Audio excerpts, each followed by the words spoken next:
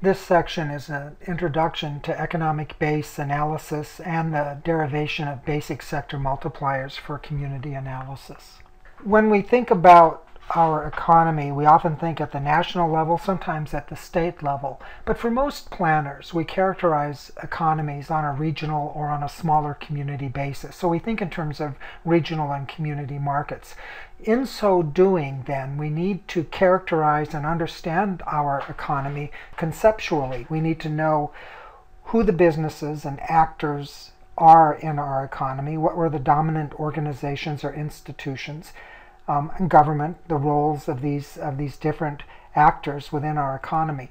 Our economy also has a spatial dimension. It's where goods and services are produced and sold, and where consumption takes place. All of these dimensions, these spatial dimensions, have a factor in the well-being of our regional economy.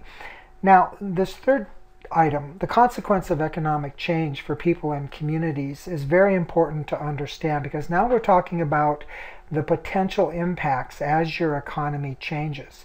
When an economy changes, let's say you lose jobs in an industry, there are other impacts besides just the direct or the, the basic sector job losses. And we'll talk about what constitutes a basic sector.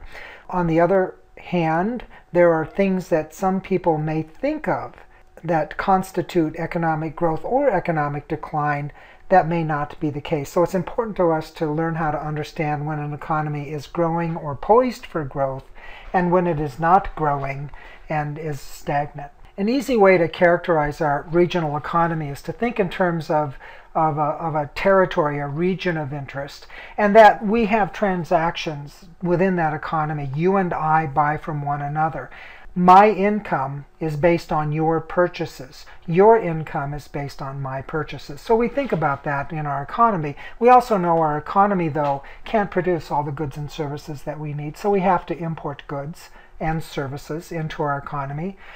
If we produce in excess of regional demand, we have the opportunity to export our surplus to other areas. And so this is a simplified view of a regional economy, and we can put this into an equation. And in this equation, what we're going to do is we're going to get a handle. This is a, a simplified Keynesian income determination model. But my, my economy Y, my dollars in my economy, are going to be a function of these these few terms here. The first one is going to be consumption, and that's what I just talked about. You and I buying from one another um, my business buying from your business, your business buying from my business, my household buying from your your service um, business, your service business employing my household and creating the capacity for somebody in my household to buy goods and services in my economy. So that's number that's the first term C.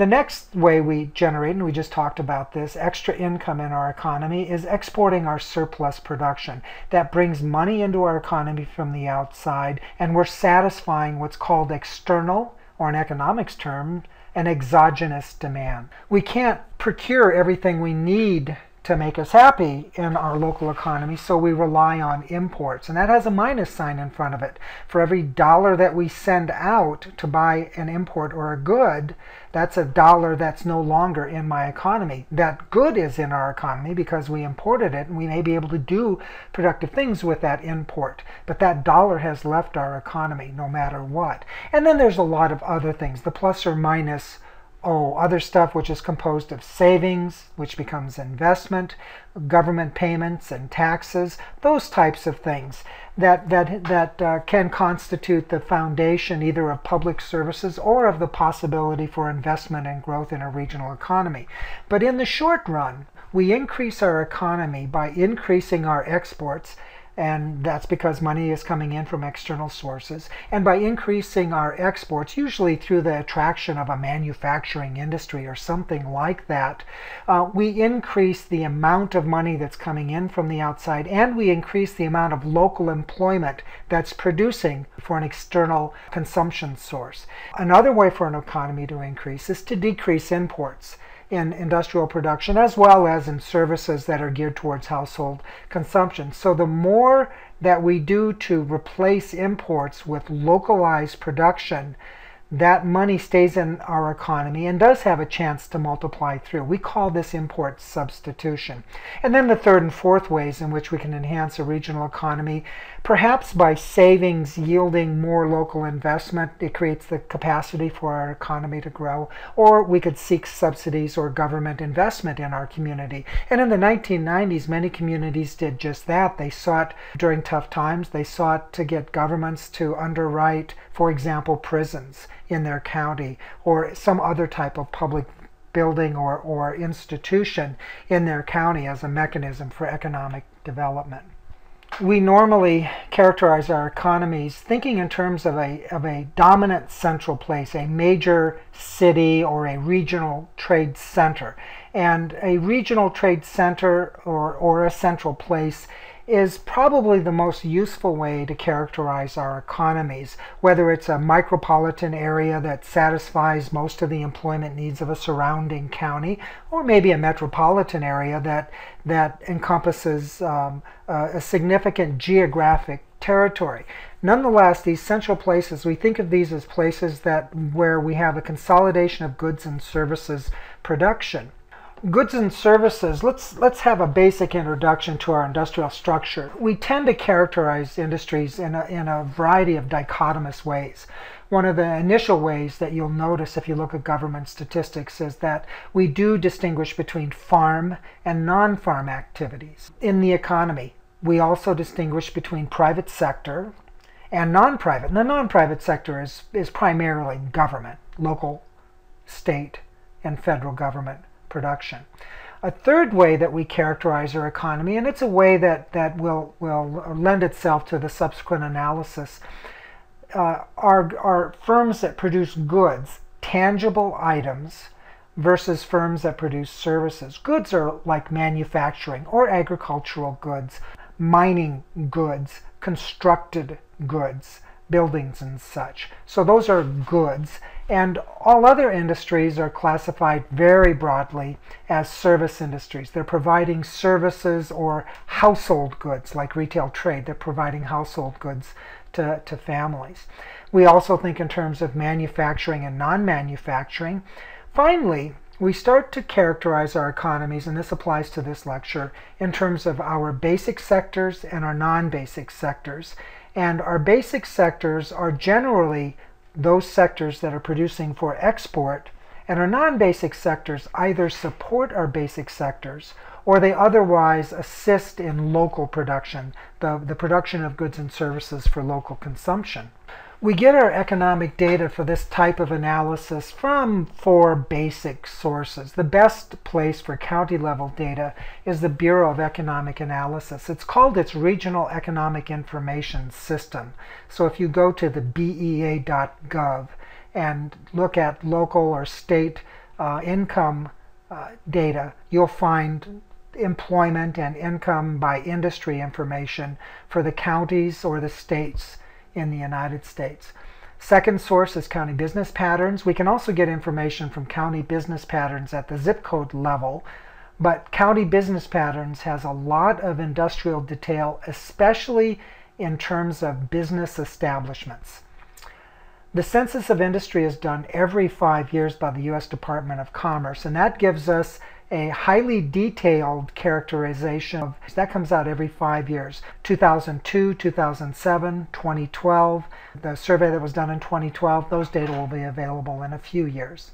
And then finally we get good information about earnings as well as employment and occupation from the Bureau of Labor Statistics at the BLS now we're moving into the basics of economic base analysis. It's a very simplified, but it's a useful way to characterize our regional economy.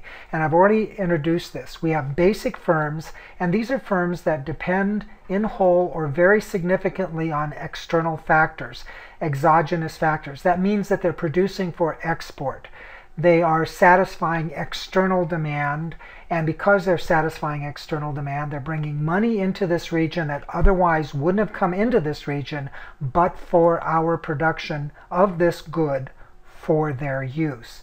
Or to state it a different way, but for their demand for what we produce, this money would not be in our economy. Next, we have the non-basic firms, and these are all industries that depend on local business conditions. That could be household consumption, or another local business condition would be um, supplying inputs into the basic firms. So you're either producing for an external market or you're producing for an internal market. External market is basic, internal market is non-basic. And this is what we get then when we reduce the economic base to a very, very simple formula all activity is basic or non-basic, therefore all employment equals basic plus non-basic. And if all non-basic employment is driven by changes in the basic sector, then we can get a multiplier M. And the multiplier is going to be total employment divided by the basic employment. Or to state it a different way, total employment in an area is the multiplier times basic employment in an area. Well, we have to determine what this multiplier is, which means that we have to come up with a, with a, a count of our basic jobs. One way is to do a survey of local firms and ask them to divide their sales between local and non-local purchases and ask households to divide their purchases by local and non-local sources. This is very costly and its accuracy is an issue and I've never seen one that's been done well. I've seen these types of surveys conducted, but they're not done at the level of accuracy and detail that would allow someone to do a good job of estimating a basic sector. We have an indirect method of base determination or basic sector determination, and that's called the assumption or the ad hoc method. And in this, we just simply assume certain sectors are producing for export. So, agriculture primarily produces for export sales. Mining, manufacturing, tourism by definition must be an export sale. You cannot be a tourist locally. And then, of course, state and federal institutions, prisons, colleges, military bases you're locally providing a good or service that serves or satisfies the needs of a much larger external population. Here we have an example of, we'll, we'll work through coming up with a multiplier. In this case, I've got an economy. And in this economy, we have what we have determined sets of basic sectors. There's 500 jobs in agriculture. There's 65 jobs in mining. All of these are considered on an ad hoc or assumption basis to be producing for external markets. Manufacturing, 1,800 jobs. Three categories of tour tourism, hotels, casinos, and all other. This, this uh, community has a military base and it also has a prison. So we could sum all of these up and come up with the total basic jobs in that economy of 5,740. The rest of the economy has 3,800 jobs and the total jobs in the economy are 9,540. So our base or basic multiplier then is the total jobs divided by the basic jobs or 9,540, the total employment, divided by the basic jobs of 5,740 basic jobs and that gives us a multiplier of 1.66. This multiplier means that for every basic job change, either growth or loss, the whole economy, including the basic job, has 1.66 jobs. And so the interpretation is that for every change in basic jobs, the non-basic economy will change by 66 one hundredths of a job. So for example, if a basic firm added 100 jobs, then the whole economy would grow by 166 jobs. This is a basic multiplier, and this is one of the ways in which we may evaluate the, the consequences of growth in a regional economy. One last point on the base multiplier. There is no multiplier to be applied to non-basic job changes. If my community puts in a new grocery store, grocery stores satisfy local demand. That's a non-basic sector. That's not what you apply the multiplier towards. Under economic base analysis, the multiplier under this kind of evaluation is only applied to businesses that are producing for export demand or exogenous demand, our basic sector. The other part of this multiplier is that it's applied to all basic sectors. We just have one multiplier. So, regardless of job levels or income levels, the earnings per job, or their respective linkages to the local economy, we would use the same basic multiplier whether we were talking about a manufacturing change or changes in the prison or the military base or the casino. We'll have more complicated multiplier derivations coming up in, in subsequent sessions, but this is a basic introduction to multipliers, how they're used, and how they're interpreted.